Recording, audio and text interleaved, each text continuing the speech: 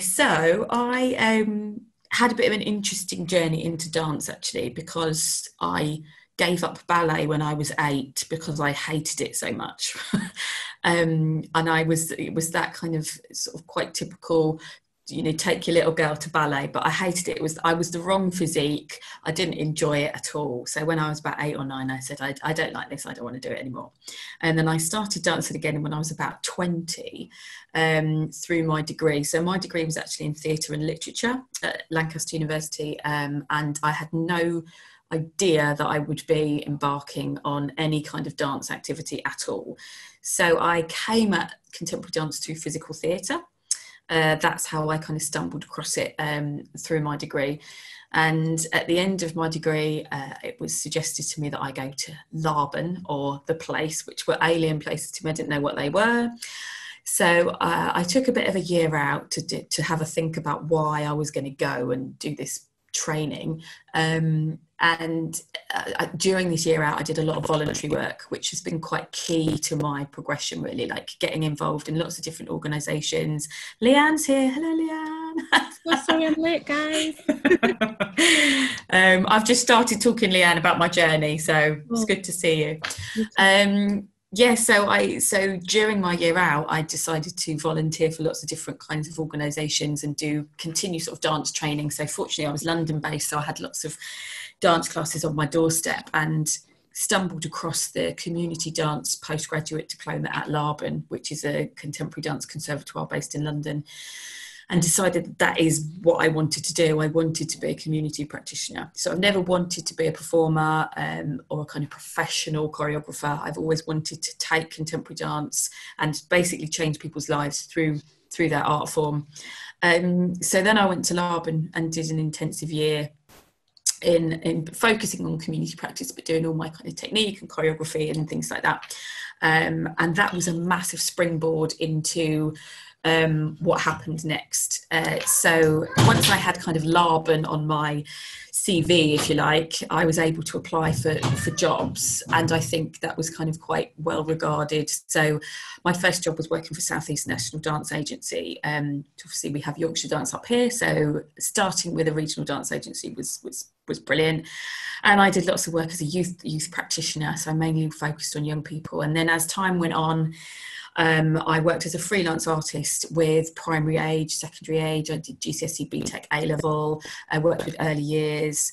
Um, I'd worked with disability, and just the ball, as the ball got rolling, more and more sort of people found out about me, and I found out about them, and gradually I became quite busy.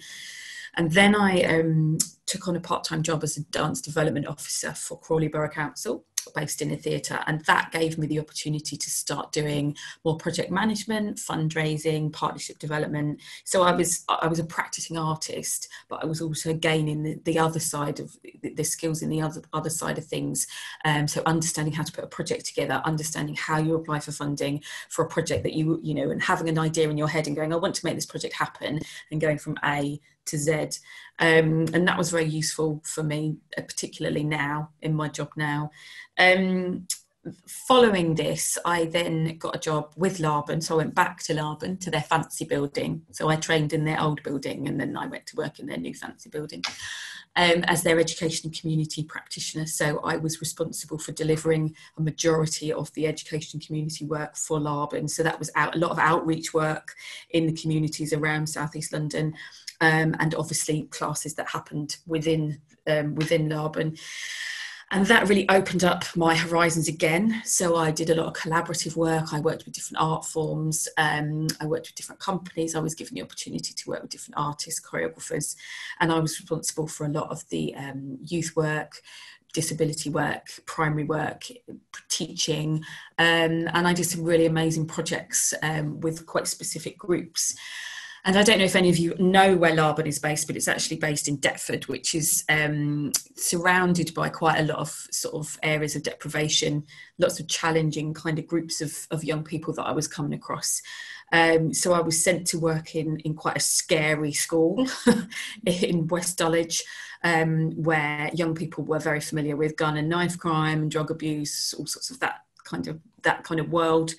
And I started to do more and more of that kind of work. I worked in a secure unit with young male offenders. I worked with looked after children, and I found that work even more rewarding than all of the other community practice I'd done. There was something um, powerful in what that work was, and going into a space where there was quite a lot of chaos and quite a lot of negative energy, and turning that around into something artistic and something positive. It, it made sense to me, and I realised that that's where I was going. Um, and at the time, I knew of the work of Dance United. I knew they were delivering work in prisons, and they advertised a training course in Bradford. So off I went for a week in Bradford and got offered a job, and that was about 13 and a half years ago. Mm-hmm. So I wasn't expecting there to be a job, but there was, and I started to work for Dance United um, on their 12 week academy program. Um, so that was specifically for young offenders in the community. So young people who were serving community Mommy, orders. Mommy. Sorry, Chris, a small toddler in my house. I'm sorry about that. Um, yeah, so uh, um, their 12 week project was uh, young people who were serving community orders for um, offences they'd committed. committed. And um,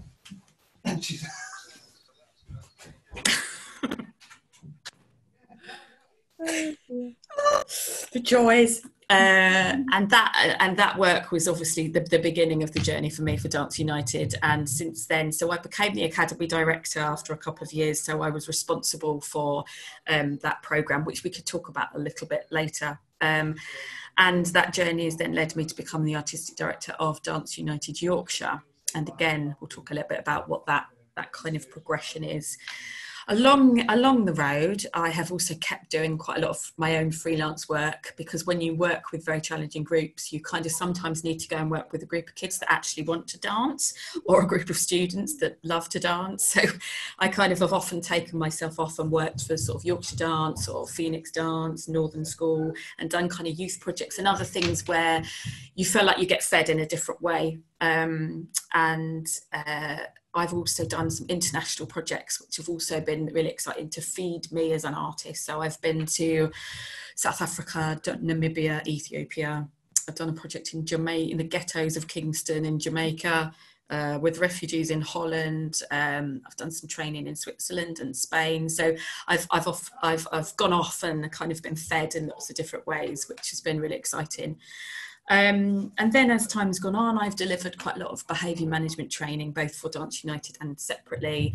And, and I've become, on occasion, a bit of a consultant for advising artists and also organisations in how to work with more challenging groups. Um, I've had a little chapter published in a book. Um, and most recently, I have um, completed a master's degree in psychodynamic approaches to working with adolescents, which is quite a mouthful. But um, it was basically because I was so interested in the behaviour of young people um, that I wanted to understand it on a, on a much deeper level. Um, now my job has become much less of an artist, more of a, um, it's my responsibility to um, decide on the strategic and artistic vision of Dance United Yorkshire and um, to fundraise and advocate for the company. So I'm much less of an artist now um, and do a bit more of the boring stuff, but I'm actually finding it quite rewarding. So um, that's kind of my journey in a nutshell. Sounds good. Is it my turn? I think it might be, yeah. Okay, all right then. Hello, everybody. Sorry I'm late again. I was having technical issues, so I apologise. Um, so I'm Leanne Hudson and I'm the Dance Outreach Manager at Dance United Yorkshire and I'll talk to you a little bit about my professional journey and how I ended up working for Dance United Yorkshire. So I trained at Laban in London on the degree course back in 2004 to 2007. And actually, I started my career very much wanting to be a performer. I was very driven by performances and the intense training. But actually, um, as soon as I got into Laban they offered a module. It was a teaching module which explored more community-based work, and I found that really fascinating. So I opted to take part in that, and it was there which I actually came across Dance United, and I had the opportunity to go to Holloway Prison and watch a piece of women's work, which was amazing. And I thought, oh my gosh, one day I have to be involved in this somehow. And ten years later, I am. Um, so I discovered Dance United very early on. Um, after graduating from Laban, I did go into performing. Um, I was quite interested in fusing different dance styles. So I was interested in African dance and Latin dance. And this um, gave me the opportunity to travel around the world to Croatia, Switzerland, France, Italy, and being able to perform um, was really exciting for me. Um, I got a little bit bored of that and felt, oh, I need something else in my life. So I decided to go traveling and sort of left the dance behind. And I went to Peru for three months. And I went um, up into the mountains into a little town called Huancayo. And it was here where I worked with street children, orphanages, and also indigenous tribes from Peru. And I was like, Am I really here? Is this happening? And I was able to um, do dance every day with them. So I taught them contemporary dance and they would teach me other Latin styles. And although the dancing was fun, I think what really fed my soul more was the types of people that I was working with. So the really remote communities, um, you know the fact that they were so isolated from other parts of, of their town. Um, it was just a great experience. And from then from that point i knew how can i do this back in the uk so when i arrived back i um, continued this journey and i thought right okay well i know how to dance. I've got my degree and i know how to teach dance but how can i gain more experience in working with um, young people with behavioural issues and having the confidence in managing groups of people who are going to tell you no, um, but you're going to say yes, we are doing this. So I um, I worked for a long time in pupil referral units, so nothing to do with dance at all, but specifically just the behaviour management. I also worked in secure units like Helen. Um, this was quite difficult. You know, doors were locked, there were alarms, there was exits here, there, and everywhere of how to escape should anything happen. But actually, those experiences really gave me the confidence to feel like I can manage a group and do dance with them. Um, so that really, yeah, that helps gain the knowledge that I needed and equip me with certain skills to move forward with my journey. Um, following this, I secured a job in the Highlands in Scotland, which was miles away from anyone and anything. Um, and I lived there for nine months, and my role was a outreach manager. So I was responsible for bringing together rural communities who were extremely isolated and remote um, I would wake up and drive for miles without seeing a single car or a single person. And I would have to get on a ferry and then go to really small islands. I'm not sure if you've heard of them, but they're called Eigg, Muck, Rum, and Canna. And their population was so small, so maybe only 50 people in um, on this small island. And then I'd rock up and they're like, Who is this woman? And I'm like, Hey, I've come to do some dance. And it was all about inspiring them and bringing dance to their doorstep. Um, great opportunity to to experience. And in the end, that um, resulted in a large scale performance. So we actually brought the rural communities to mainland Highlands and they performed in Inverness and in Fort William. So that was a really good experience to just bring the small communities together and make them one big group, which was great. Um, from here, I did a lot of work in Birmingham at the Dance Exchange, and I worked for a year with a group of really vulnerable young girls who suffered quite serious mental health issues again, I didn't have much experience in that field. It was more the behaviour management, um, and we did have a lot of support from support workers and therapists. But it was great to work with them so intensely and see their journey from day zero to 12 months down the line, and how dance can really impact and help change and reform people, and great for their well-being. Um, and again, that resulted in a large-scale performance and many opportunities for them throughout the year. And shortly after that, I joined Dance United in 2010. and I I think I was in London for about a year and it was here where I had lots of intensive training myself as an artist. I was able to apply all the previous skills of behavior management onto the projects that I was helping support. And my first project with Dance United was in Hackney in a college. Um, very difficult, but I was ready for the challenge and it was a great experience. And since 2010, I've pretty much been with Dance United all the way through. Um, I'm sure Helen will go on to talk a little bit more about how Dance United Yorkshire evolved, but once Dance United Yorkshire was sorry, once Dance United was no longer, I moved back up to to Yorkshire and began my journey with with the Bradford based company. So that's me.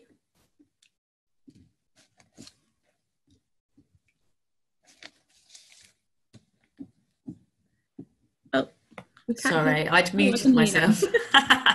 so I'm going to carry on um, talking about Dance United and Dance United Yorkshire now um, and give you a sense of where where that came from and, and what that journey has been. Um, obviously, some of it is before my time. Um, so, uh, but first of all, just to give you an overview of the organisation. So, we are um, a cultural leader specializing in social social inclusion work that is what our the heart of our organization is about. Um, and it's about making high quality dance and performance accessible to children and young people and adults who are the least culturally engaged and who are living on the margins of society. Um, what we aim to do is bring the best of the contemporary dance world together with social concern. Um, and we enable vulnerable, disengaged, excluded, marginalised, disadvantaged groups to, um, to experience the power of really, really high quality dance and performance. Um, we commission both emerging and established artists to come and make work with us and for us um, so that we can bring audiences into theatres who um, have never seen contemporary dance before, but also to attract knowledgeable dance audiences as well. So everything we make, we want it to stand in its own right as a really excellent piece of work. Um, we work in cross-sector collaborations, so we help to support um, the needs of our statutory partners. So that might be education or health, criminal justice, the youth service. So we're very much trying to help all these different services achieve their aims as well with their groups. Um, and ultimately, we're trying to use the power of, of, of contemporary dance and theatre to have a long lasting and meaningful impact on people's lives.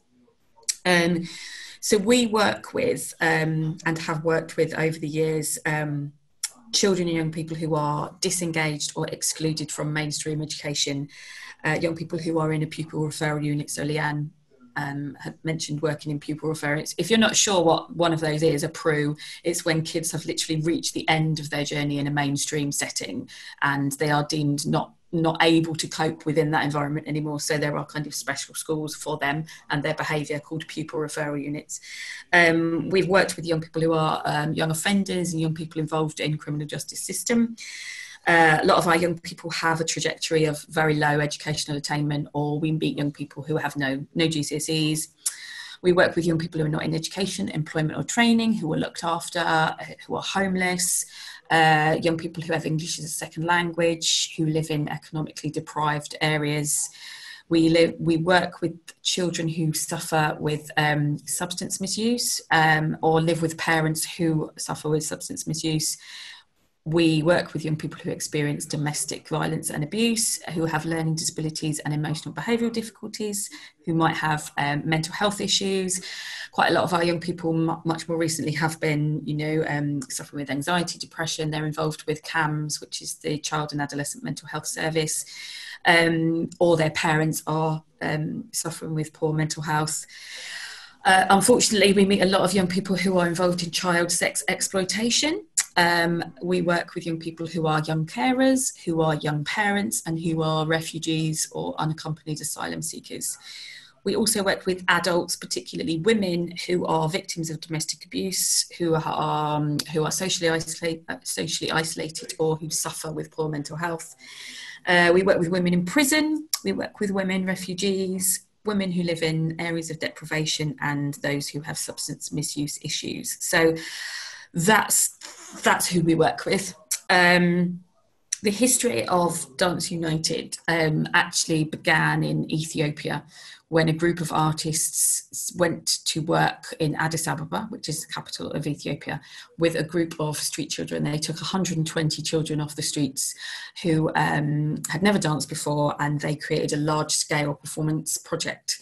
This then led to a group of those dancers being trained professionally for five years and they formed a dance company.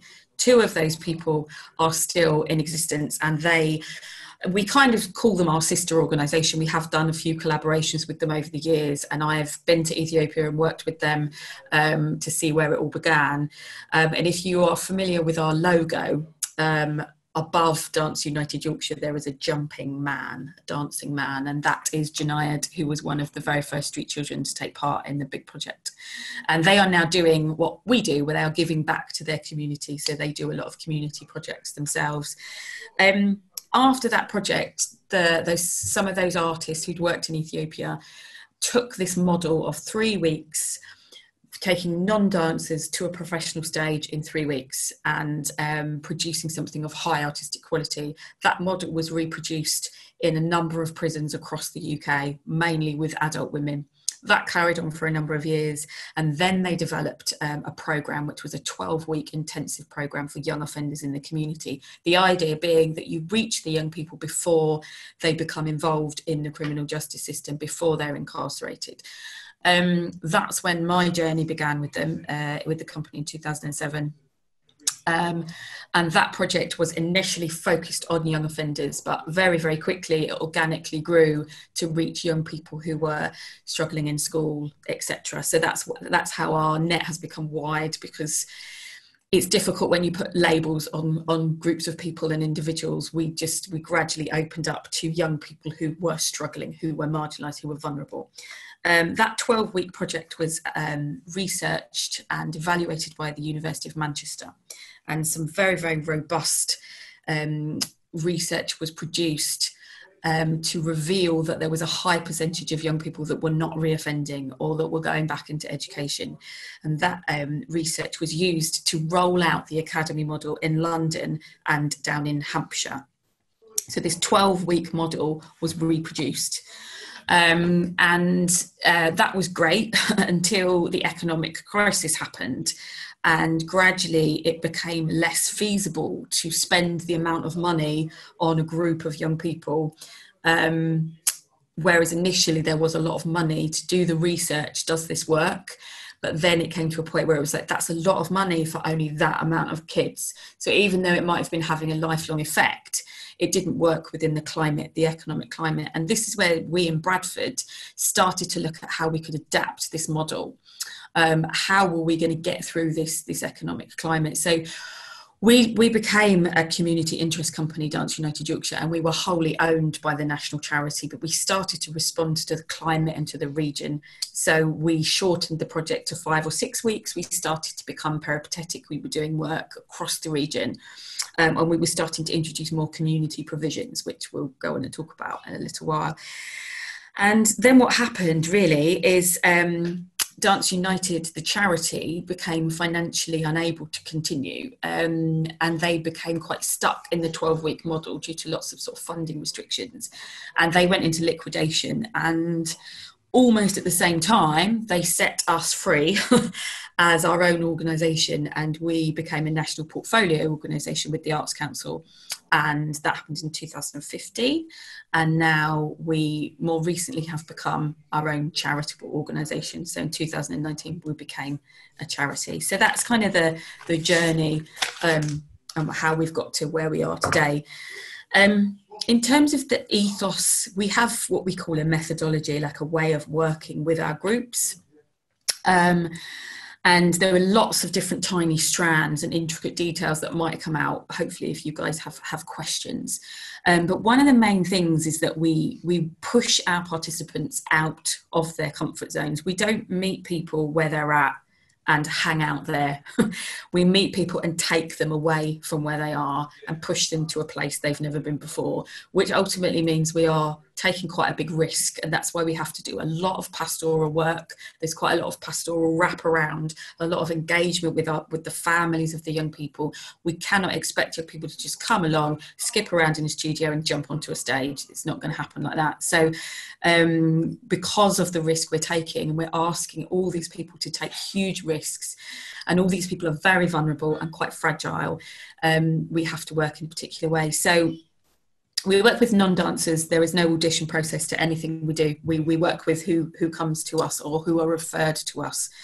Um, we push everybody to achieve the highest possible standards um, and we treat everybody as a dancer from the first day we meet them. We call them dancers and we call them a company from that first day um, we set, we do work towards goals. Most of our work, in fact, I'd say 99.9% of our work results in some kind of performance because we believe that's where things can really change as well. So we talk about this goal quite early on. We set that expectation. Um, we don't take easy options. We, we do, it is a very, very hard journey to get our young people or our women or our children from A to A to Z. Um, we choreograph work that is led artistically, so we, we try not to make issue based work. So if we work with a young group of young offenders, we don't say, Why have you offended? and how do you feel about that? And then we make, well, we don't do that. We try to take them away from those experiences because some of them don't want to talk about it, some of them don't want to think about it.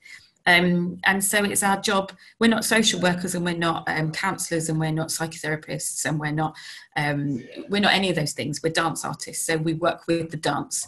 And so often our pieces might have a theme or, or a story, but we will try to avoid using their issues to make the work. Um, and this is very interesting when we work with professional choreographers who sometimes want to rip people's souls out and put them onto stage. Uh, we have to be quite gentle with how we how we develop the work.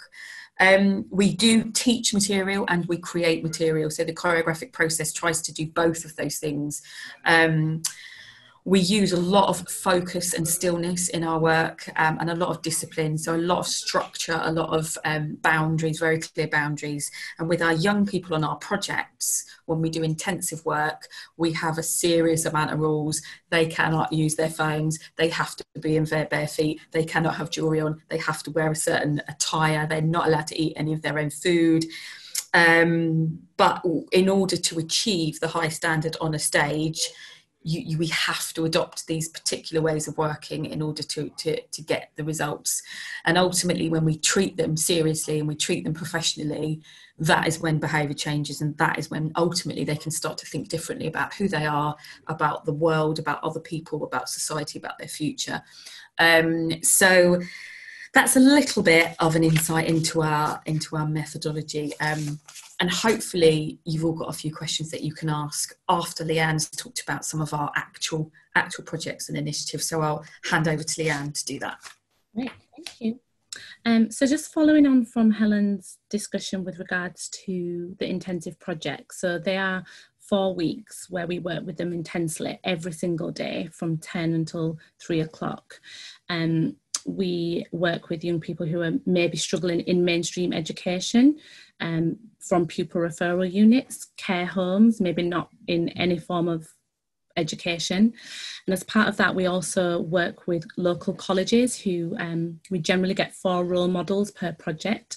And we, we use those as anchors within the company so that um, the young people that are referred to us have something positive to to look up to and to work with and they are really integral with within the project and it can mean the success or the failings of of a project as well.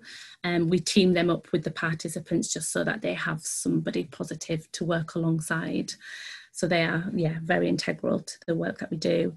Um, as Helen said, we literally take everything from them their mobile phones, we tie their hair up, no jewelry, bare feet, t shirts. As soon as they walk through the door, they are treated as professional dancers. And it takes a little while for them to get their heads around that, but eventually they understand. Um, we we ensure like helen said we, they don't bring in any of their own food and generally because the food that they bring in is pretty poor um, snacks crisps pop which is all great once in a while but on a project where we're trying to um, promote healthy eating. We strip all that away. We provide them with breakfast and lunch, which is really nice. A lot of our young people maybe are not used to having healthy meals, so we really promote that. Um, and it's a nice bonding experience as well for everybody to eat together. Um, again, Helen has mentioned that we really do push them and we absolutely strive for excellence and we don't settle for average. Um, they find that difficult at, at, the start and then eventually they're just coming with you on this crazy journey and they're just doing great things and actually it um, empowers them and they find um, strength within themselves and want to do better, which is so rewarding. Um, as part of the um, project, we run a qualification alongside the dance, which is called the Arts Awards.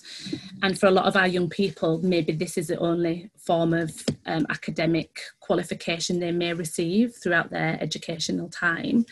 Um, it's a bronze or a silver that they can complete and generally it's a bronze to start with and within that they also have to go into a local primary school which we have really good relationships with across bradford. And they will teach their skills to younger people which is so great. And maybe for those who had really low confidence at the start all of a sudden you see them shine in um in a primary school and having like little kids look up to them is really lovely to see. And for them to find this new role within themselves that they never thought they could achieve is is also really rewarding. Um, alongside that, they have to review a professional piece of theatre. So we will take them to a theatre and they will watch. We've seen performances from Northern Ballet, um, Romeo and Juliet. Like they, have seen lots of professional work, and and it's really nice again because a lot of our clients that we work with, our client group, they haven't ever been into a theatre. So we really talk about theatre etiquette and the importance of being a good audience member, um, and it's a really lovely experience for them and they do this before their final performance, which is also in a professional theatre.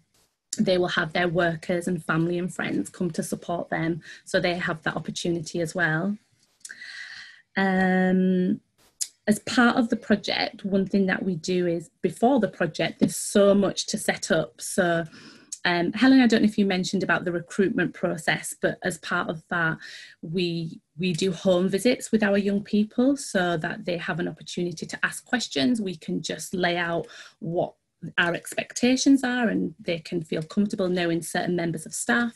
So we make sure that we meet them and the young people prior to them, sorry, we meet them and their families prior to them starting the project.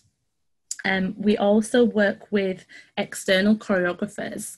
So as Helen said, we, we strive for excellence within our choreography. So we've worked with um, professional companies such as Two Face Dance, New Adventures, Protein, Jasmin Vardimon, and it would be the artists that team up with a choreographer from an external company.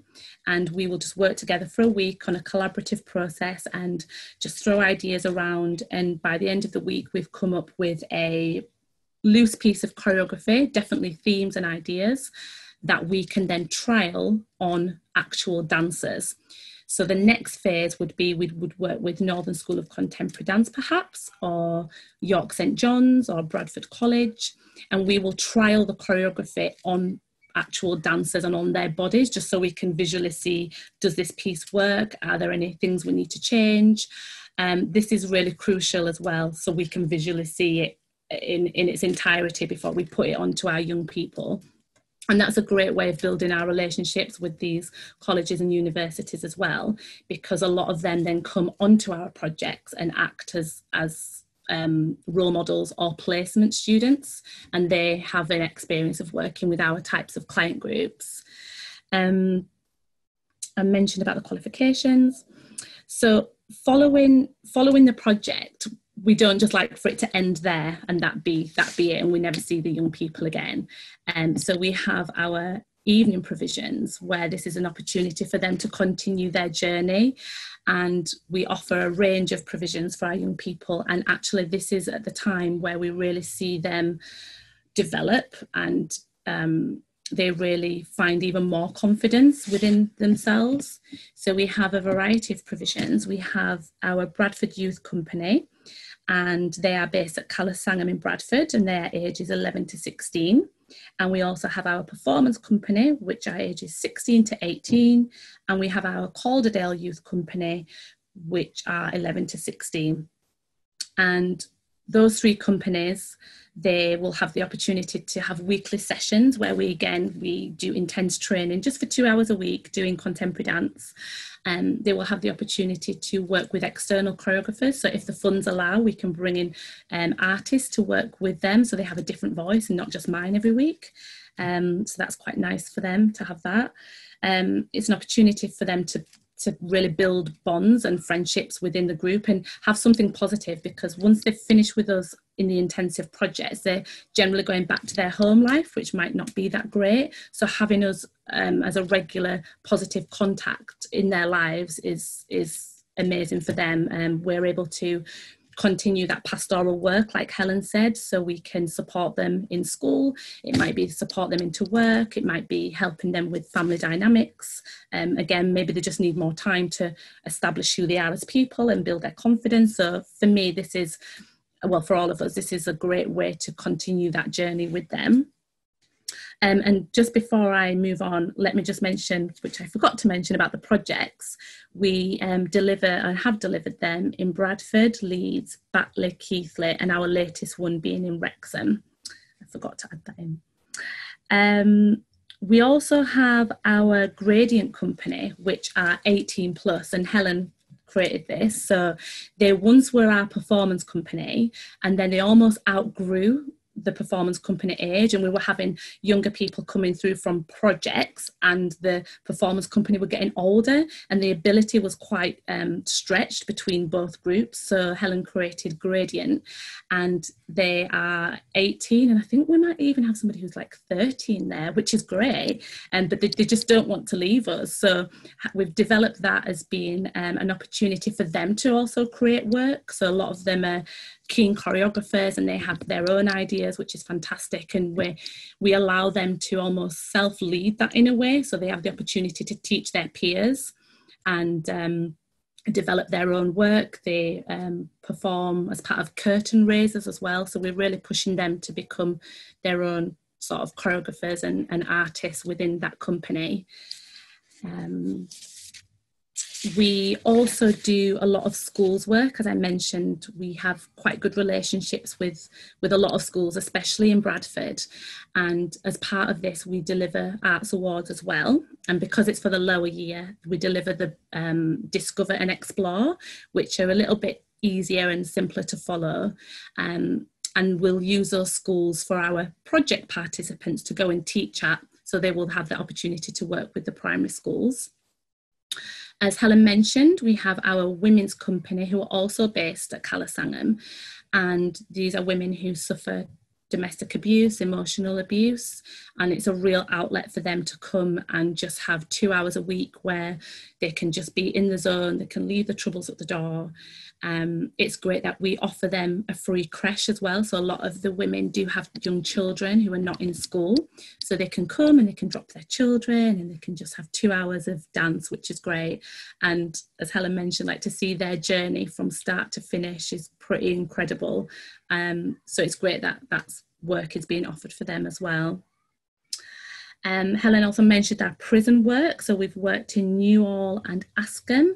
Um, I've worked in Askham only, Helen's done both, and this is pretty amazing to be able to go into um, a different environment and have the experience of creating a theatre space within a prison is is pretty awesome and then having the guards come and and having their friends come and watch them in such a space is is pretty awesome and back in the day when we used to run projects in Bradford and Leeds we would have um, people from prisons, both Wetherby Prison and Askham Grange, so both male and female, they would come and, and join in our projects for four weeks. So they would have day release, um, join with us, and then they would they would go back and they would also teach and perform and have this really amazing experience.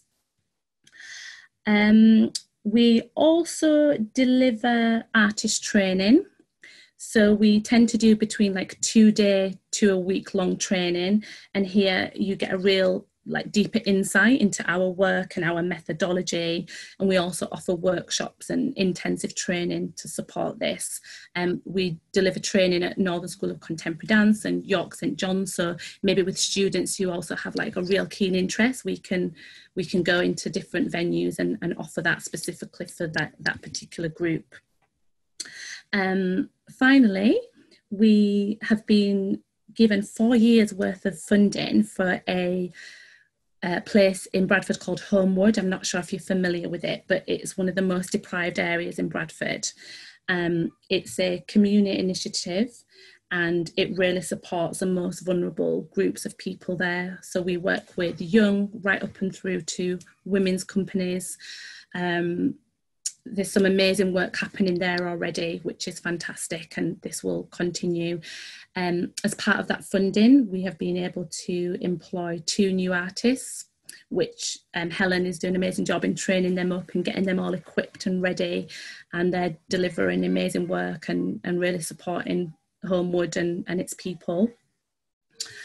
And just to talk to you briefly a little bit about what we're doing in lockdown or what we've been doing and how we're still working remotely with our participants.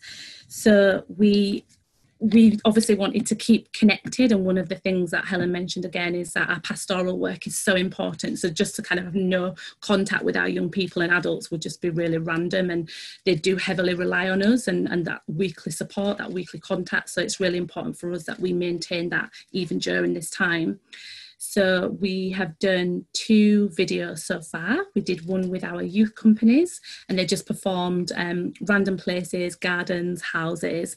And our trainee artist, Steph, she created a, a film for that. If you haven't seen it already, maybe we can share it with you at the end. Um, and then also Helen worked with our Gradient company and it was a bit more professional. And um, there were a few more tasks added and there was more depth to what that was um, which is also a great piece of work which if you haven't seen already i welcome you to see. Um, and helen is also working on a piece with the women's company so a creative film which i believe is almost ready so maybe Helen can talk a little bit more about that. So that will be soon ready to view. Um, again, Helen and the trainee artists met with the women in different parts of, of Bradford and interviewed and they learned some choreography. Um, so I, I think that was great fun for them to have contact with, with us still. Um, we are still running our arts award, so we can deliver this remotely, and we've created a package where we got one of our trainee artists to deliver individually to each of the houses. So the package contained all the arts of crafts. We threw in some um, extra goodies and well-being kits and and eye masks and just something to lift the spirits of our participants. So we did that for the youth company as well as the women's group as well. They also got a nice little care package. So we're delivering the Discover Arts Award and the Bronze Arts Award. And I'm currently doing home visits with each of our young people. Obviously, I won't go into massive detail about what that is, but there are lots of pastoral um, needs for our young people at the minute, um, which is this lockdown hasn't helped their already kind of feelings of anxieties and, and pressures and stresses. Like it's really come to the forefront, which is quite difficult for a lot of our young people. So we are offering a lot of support and and needing to have extra intervention for them as well. Um, but hopefully in in summer we can deliver um, actual um, dance with them and do a dance project, which would be in the cathedral grounds at Kala Sangam. So we can work with them in person and we can do what we do best and we can just be physical, obviously in a safe way, but that's what they're craving. They want that. Um, that that dance they want that interaction with other people that's what helps them stay stable and helps them keep motivated on a weekly basis and finally i'm sure i said finally like 20 minutes ago, but this is definitely finally. Um, we have been given some funding, a holiday grant by the government to work with 32 children across Bradford, which is pretty awesome.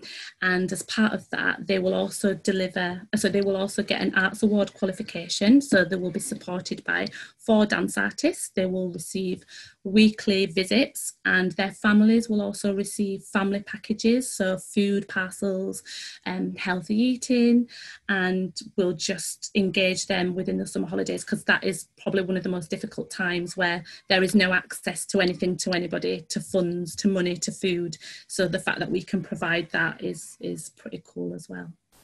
That's me. I think I'm done.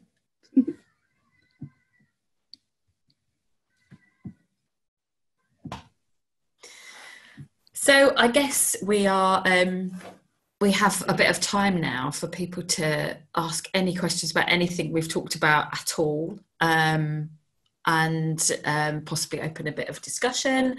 Um, but yeah, I think it's about about any of you guys and any anything that you're interested to know more about. There we go.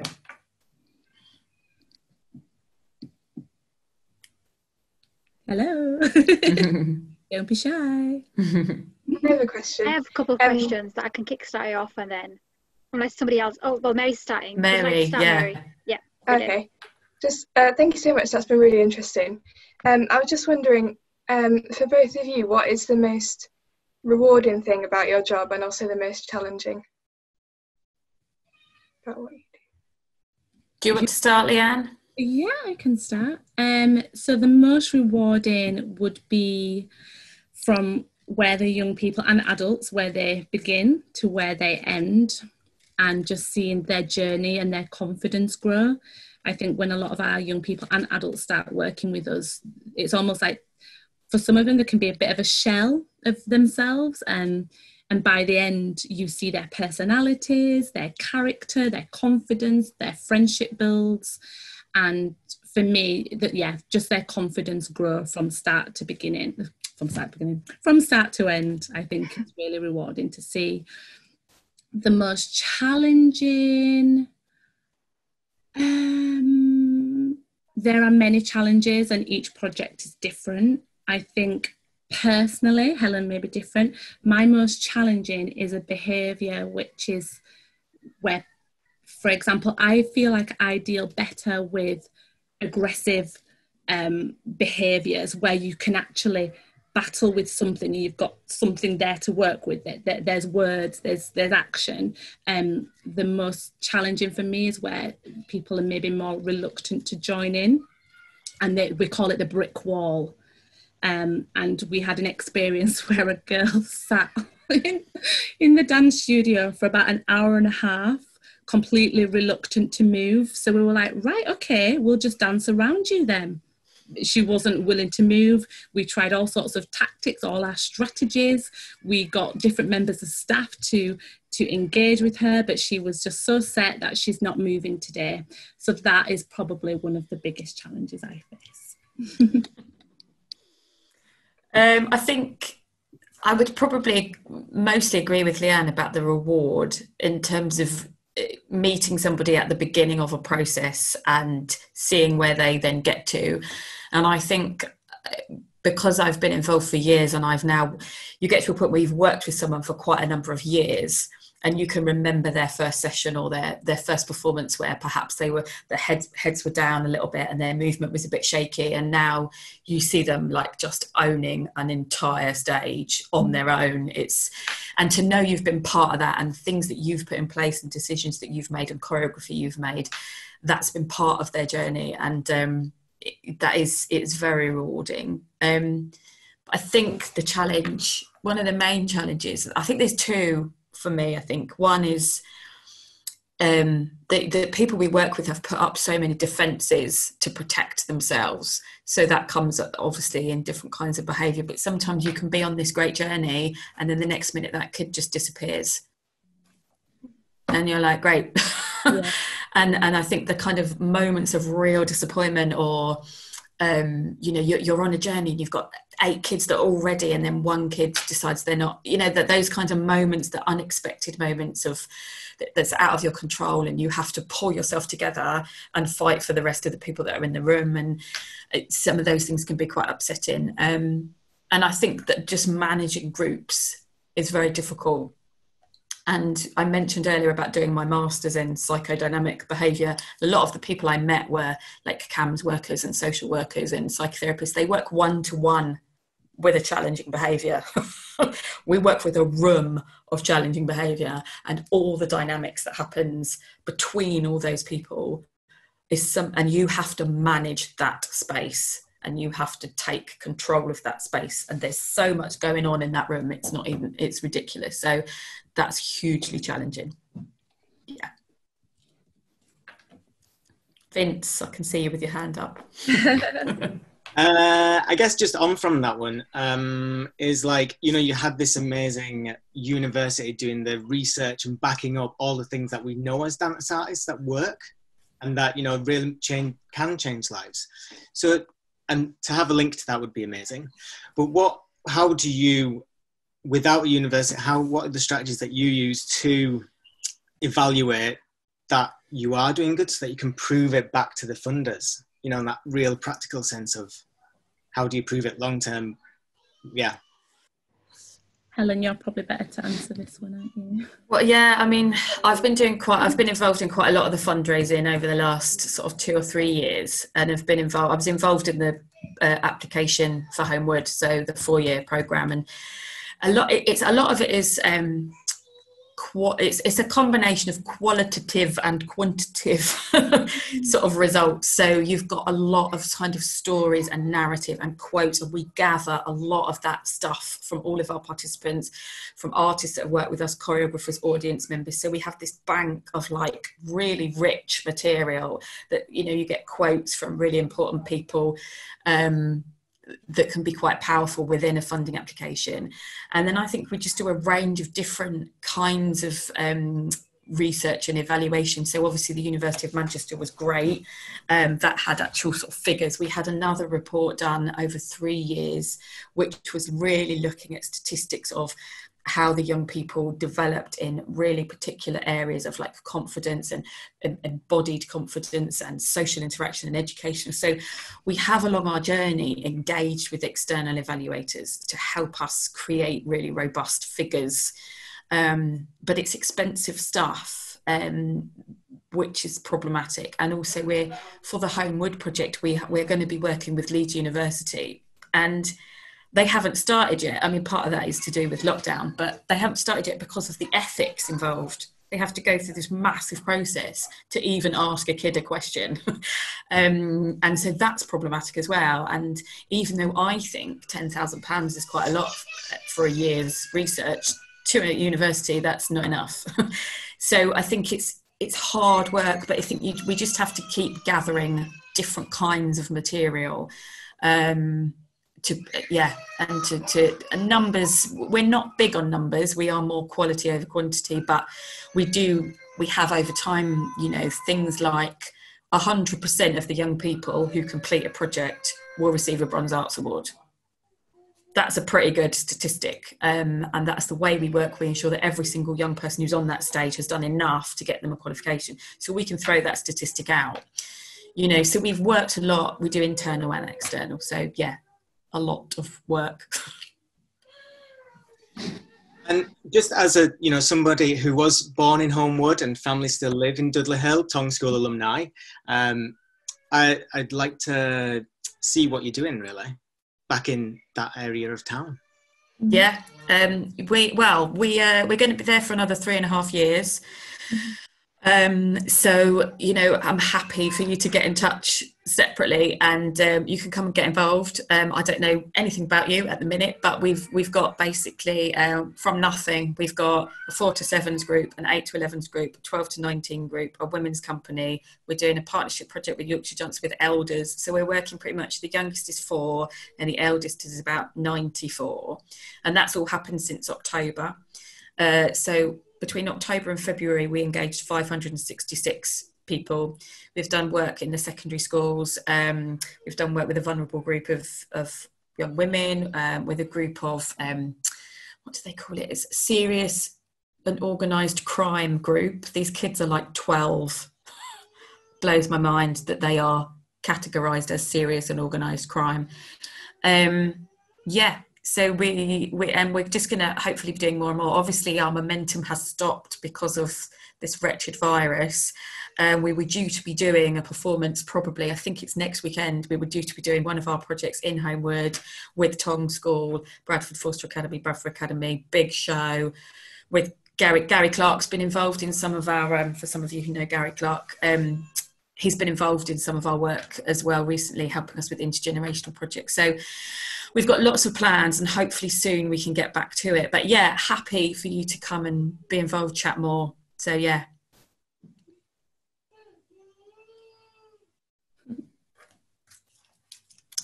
Um, hi, sorry, uh, my video isn't working at the moment.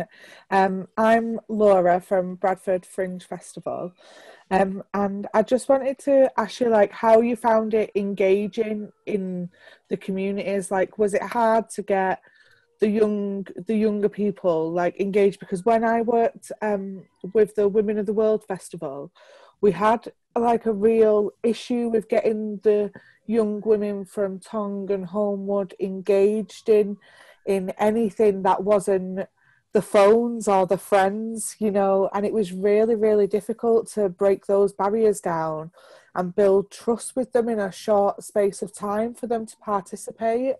And that's something that as as the Fringe Festival progresses, we want to be able to go into these communities, go into uh, communities in Bradford and build relationships with these young people and give them a platform in order to create something you know that an annual festival that's you know that and and would i'm just like wondering how yeah how how you built that engagement with them to start and how you um how you got them there because that's like the hardest thing i found is getting you know, especially in working class areas. Like, because I'm from a, I'm not from Bradford, but I'm from a working class area in uh, in Manchester. You know, from a council estate, and I know that the kids there now are not engaged. So how do we do that? Like, with, with those who need it most. Big question. Sorry, Helen. um. Well, I mean, it, one of the things that we do. I mean, we often start with an intensive project um, that is the beginning of a journey for a lot of our young people. Um, and so those referrals come directly through another agency. So we will build a relationship with, for example, a pupil referral unit or a school, and we will get them to identify their most vulnerable young people and people who might benefit from something like this. We're not just saying, have some respite teachers give us your like most bonkers young people. We're saying please send us young people who will really benefit from this kind of program. Yeah. and then we do the family engagement and sometimes that's one visit two visits three visits. We sit in that person's house for an hour two hours. We show them dvds we tell them all the positive things. We're honest with them. We tell them you're not going to be doing street dance. You're not going to have your phone. You can't eat chocolate bars all day long. Mm. like mm. this is the reality. But we say to them you're going to get a qualification. You're going to perform performance stage you're going to build this you're going to do this and, yeah. and kind of we get to a point with them where we say like have you got anything to lose by coming along like have you got something better to do and we've learned over the years, I suppose, how to engage the whole family. We speak to mum or we speak to carer and we say, like, mum's going to get you up every day and you're going to do this. So you kind of build. Yeah we spend a lot of time it's community development work really um, that we do. And then those young people are brought into that that studio for the first time and then we have all our tactics and strategies for how we manage that first ever experience of contemporary dance. And then from there it's just gradually just sort of picking away at, at kind of, of, you know getting them more and more hooked in more and more engaged. Yeah. um, and then they will join our youth companies and etc so that's kind of traditionally how we engage we work with partners and they refer young people. We do all the pastoral stuff. Holme Wood's been different. We have literally taken the mountain to Mohammed um, and the littlies are easier. The littlies you'll just get parents rocking up with kids and throwing them at us kind of thing. Um, but it's it's taken a bit of time and it's it's again about it's about partnerships and I, don't want to offend anybody here, but sometimes you meet professionals who also have low expectations of their young people. Yeah. So you have people that say they won't do that. Oh no, she doesn't like doing that. She won't get involved in. No, no, she's not going to do that. And you're like, oh my god that's literally the thing that blanks my blood boil because i'm like you cannot and we had an experience recently where we had this girl won't take part she won't take part she's not going to do it she's not going to do it. So she didn't do the first project and then she came along by herself to our youth company just appeared and i was like oh she won't do it. So mm-hmm. sometimes other professionals can be unhelpful yeah. sometimes um, but I think it's just it's giving yourself if you want to do A and you've got a really challenging group or a really challenging community, you've got to start way back and go and attend things, get them to know, get, you know, get to know them, get to know the space, and have something quite set and straight. I find that with that, with us, we work towards a performance. So we yeah. say, "This is what you're going to be doing," and they have that goal to work towards Whereas I think if you offer something a bit more, we're just going to be doing a little bit of it. Sometimes they're like, well, what is that? So we use performance, we use the goal of performance. And even though that's a bit scary, we always say, oh, don't think about that. but really, we're saying, no, actually do think about that. Because well, it's building that structure, isn't it? And building yeah. it with the families first yeah. and getting them on board a lot a lot of work but sometimes yeah. it's little steps so so one of the first pieces of youth work we did in Holme Wood ended up involving just two girls but we yeah. stuck to it and stuck to it and stuck to it and stuck to it they performed they were amazing and that's now spilled out a bit and now we have 20 young people in our youth company i don't even really know how that's happened but that's amazing it, it is and Holme Wood is hard as vince probably knows himself but it's like eh, um, but it is just time and effort and making yourself known in that community. I mean, I'm a Londoner and I'm not from that community, but I spend time there and I get to know those people. So recently, we've been doing some filming with one of the women in Holme Wood, and a few of us knew you'll just see a kid and go, "Hiya." You've got to become part of that community. You can't just dip in and go, "We're working in Holme Wood." It doesn't. It doesn't work like that. You have to invest time and and love you have to give a lot and and then when you give a lot they'll they'll start to give give, give back to you. Thank you. That was brilliant. Um i've got a question from simon. Simon would you like to ask or should i just read it from the chat Hi, yeah, I don't mind um, asking. Thank you. Um, yeah, I just wanted to say thank you so much for this session. It's really um, enlight- enlightening and interesting, uh, the work that you're doing. It sounds amazing. Um, so, my question is if you don't mind me sharing a little bit from my background, I'm an English teacher, and um, recently I did a project with um, uh, like a grassroots charity, and they were in coordination with British fencing. So they come, they came into our school and they uh, it was a, a, group called Muslim Girls Fence. So it wasn't specifically just Muslim girls that were in the group. Um, it was quite a diverse group of students taking part, but they would have an hour of fencing and an hour of poetry and discussion and reflection. And um, the kind of approach that they had was they wanted to, like you said, bring the um, project to the girls where they were at. And so they also delivered the project in uh, mosques, for example, or places where the girls would feel the most comfortable um, and not necessarily taking them out of their comfort zone to begin with um, so that they can engage with the project completely and fully. And I know with dance um, and things like that, you mentioned you'd ask the p- participants to tie their hair back and things like that. And I was just curious how that would look with, I know Bradford has a lot of um, Muslims in the community and um, how that would look for kind of young Muslim girls who want to take part and um, are there any kind of opportunities available to to young Muslim girls or racially marginalized people that could take part in your projects? I've got a couple of things to say, but Leanne, do you want to, because we've worked, we have worked with quite a lot of Muslim mm. girls and boys. Um, do you want to say a little bit, and then I've got a little bit to add at the end. Sure. So we've never found it to be a barrier, actually. Um, when we, you know, referrals are made, once everybody's in that dance studio, everybody's just a dancer, and and they're treated professionally. And for me personally, anyway, it's never been a barrier. Um, everybody we've got through, they've performed, they've had family members come to watch. Um, the only particular person I can think of is a young male, which I'm currently working with now. Um, that is it is difficult. He's in our evening provisions, and his um, family do struggle with what he does. But in terms of our intensive project projects, I've never had any issues with with people from any walks of life. Like everybody's just been happy to be involved, Family have been supportive. So I think I've had a little bit more um, of a barrier with adult Muslim women um, with the Women's Company, we have had Muslim women taking part and performing. I don't know if they've told anybody that they're doing it, mm. um, but we did work with Women's Zone, which is a Muslim um, organisation, women's organisation in Bradford, and we wanted them to be part of our intergenerational project that we worked on. And they took part in a number of sessions, and then they all just said that they weren't allowed to perform. So we we have, I think, when we when we have referrals, I think the families are on board because the referral process involves the family engagement. So we end up getting Muslim girls who are allowed to and culturally, you know, according to their family, that's okay. Um, but I, but with the adult women, it's been it's been much more obvious that that kind of barrier. But something that I'm something a project that I have in mind at the moment, and we have actually just recently applied for a little bit of funding and it's one of those things that once I get something in my head, I'll find a way to fund it, even if we have to go like round like this. But I, I'd really like to do a project that is a female only project for a female only audience.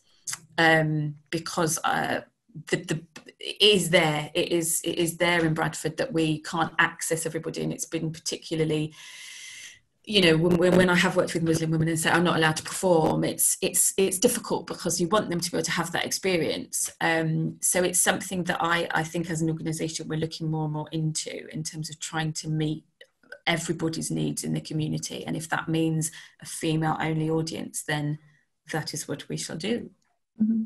so yeah that's amazing thank you I- would love to get in touch with you and um, to share some of the work that I've been oh, doing. definitely. Yeah, yeah, do so, do so.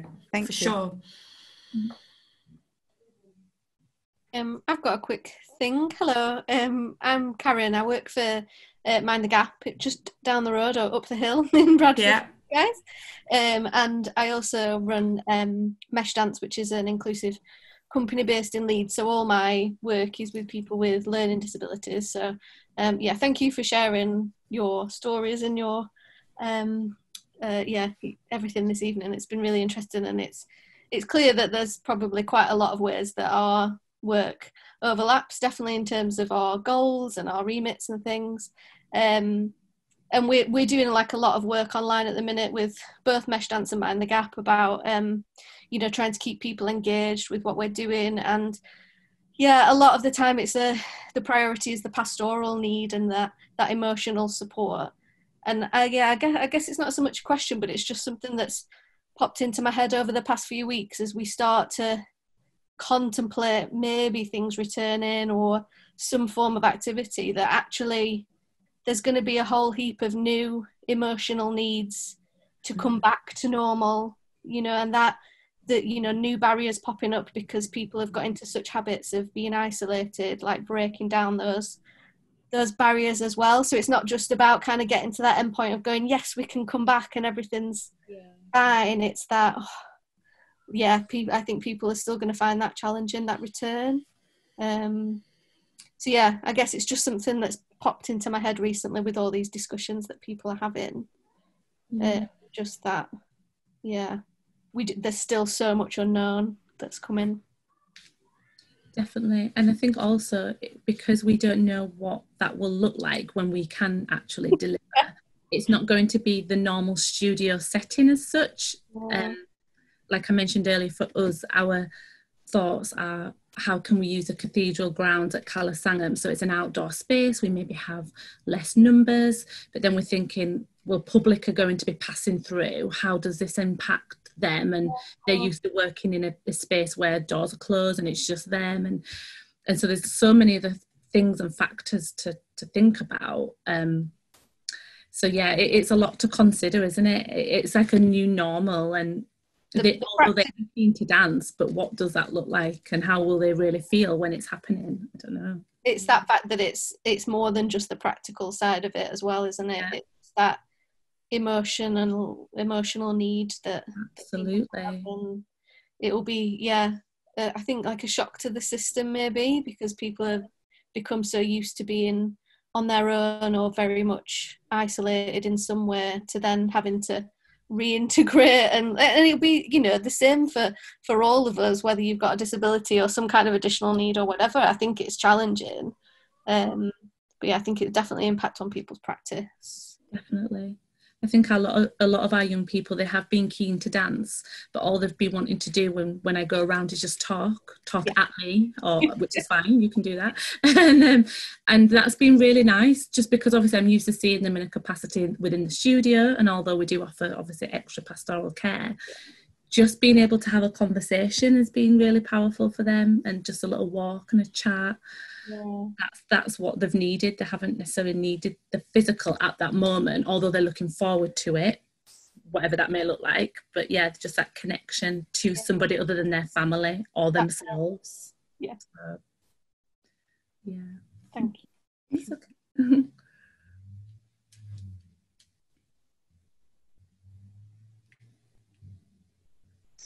Won't meet myself. Do we have any other questions any other thoughts I had a question regarding like your your your the care work that you were talking about in terms of joining in um, before a, uh, before a project happens. So what's like the, the communication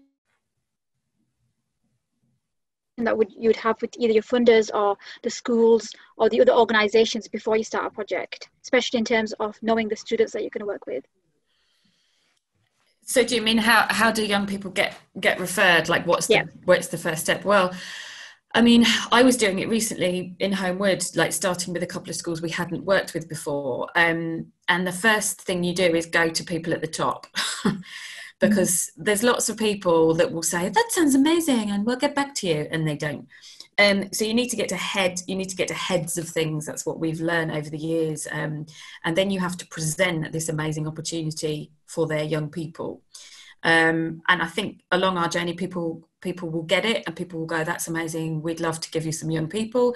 And then you'll meet people that just don't get it and go no they, they won't do that. That's the usual. So our kids won't do that um, so again, it's it starts with building quite a good partnership with a with a referral agency, um, meeting a long time before a project. So if I'm doing a project in you know, if I was to do a project in November, in September, I will be having these meetings and setting everything up, um, possibly even earlier. Uh, yeah, and then you, you ask them to, to recommend those names. They will refer the kids that they feel, and then you work with those names. You contact you then get in touch with the family and you almost kind of remove the agency and you then start en- engaging with the family directly. Um, you maintain a partnership with that agency. So if it's a school or a pupil referring, you you will keep in touch with them, but you kind of want them out of the way. Really, they're just kind of they're going to give you the kids, and then you're going to work with the kids, and they then just remain kind of on the sidelines. Um, but it's it's real serious meaningful partnership you have to build trust with everybody you work with from the organizations right through to the to the actual young people and their families and you have to if you make a promise you have to see that through if you promise something you have to come up with the goods and then from there you probably then have a partner for life. So we now have schools that we go to in Bradford. So Bradford Academy is a massive partner, Hanson Academy, um, all sorts of schools that will just give us kids now. We don't even have to have a chat. We'll be like, got a project, here's some kids, because they've got familiar with our work and then they can help advocate to other schools. And that's happened over in Calderdale. We've done a few, projects in Brighouse and Calderdale, um, where, where a head teacher will say to another head teacher, this company is worth working with. So it's a huge amount of work that we have to do to to get before we we have those kids in a studio. So there's months and months that happens before those kids do dance. Thank you. Um, are there any other thoughts or questions? Do you guys want to wrap up, maybe? Yeah, happy to. I mean, um, you can all sort of. I mean, our website is um, it's a little bit outdated at the minute. It's just slipped down the list of things to do. Um, but have a look at our website, and I think Vince, you were talking about the, the academic research, the Manchester research. There's if you have a little look around, um, it, there's some stuff on there Um, and um, our Facebook page is obviously quite, that's got our most recent films on that we've made, the two little films that Leanne talked about, to have a little look at what we've been doing in lockdown. Um, and if you want to contact me directly, I am just helen at duy.org.uk. So if you're interested in anything or want to get involved or um, just want to ask anything else or anything at all, just feel free to, to contact contact me. That's absolutely fine. Brilliant. Leanne, do you want to say some last last words? Thank you for having us. It's been great to see everybody. Brilliant. Yeah, thank you. Right. Great. Take care, everyone. Thank you, everybody. Bye, everybody. Bye. Bye. Bye.